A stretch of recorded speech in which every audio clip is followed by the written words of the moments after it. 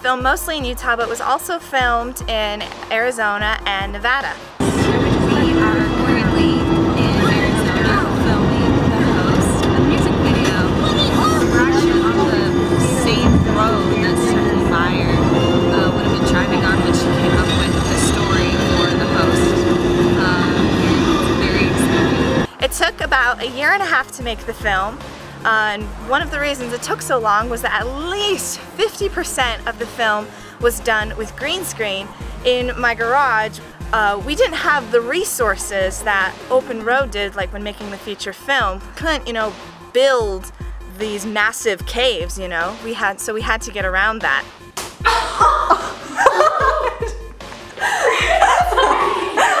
Another thing we used the green screen for was the elevator shaft.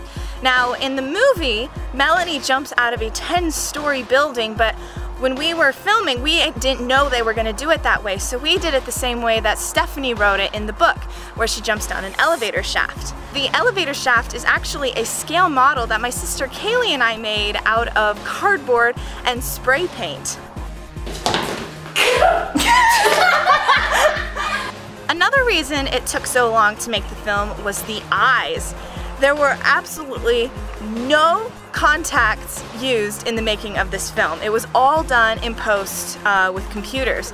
Uh, what we had to do, I pretty much had to invent a new effect in Adobe After Effects that I just applied and scaled to get it to fit the eyes and then used motion tracking. The problem with eyes is that they tend to move very fast and there's blinking. So a lot of the time I would have to go in and adjust the effect frame by frame. So in the end, it took anywhere between 30 to 120 minutes per shot adding the effect, depending on amount of eye movement and blinking. Wait, how do I make like the like host eyes? How do I do that?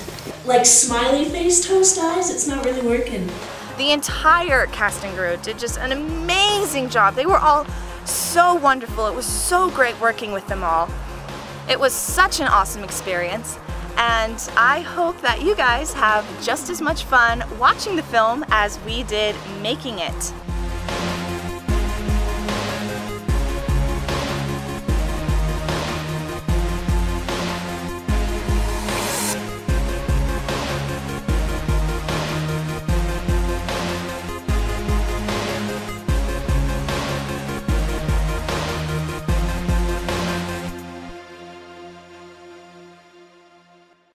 Uh, yeah, Glare Terra. You don't what like sort her? Of glare?